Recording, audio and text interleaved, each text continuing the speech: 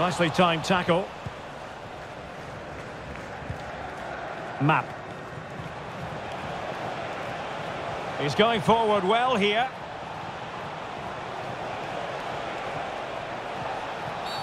Really poor timing, and some will argue that he was asking for a yellow card. Well, deemed to have been a cautionable offence. Well, no question about it. He deserved his booking there.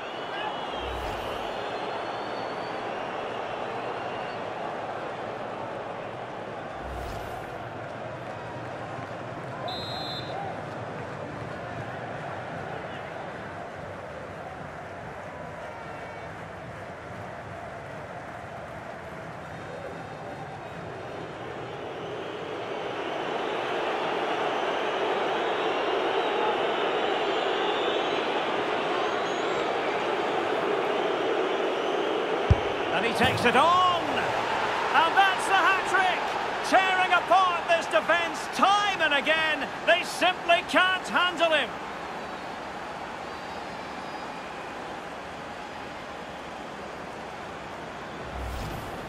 Well, here it is again, and honestly, I can't believe he's taken this on. It's an incredible strike to beat the goalkeeper from that sort of range.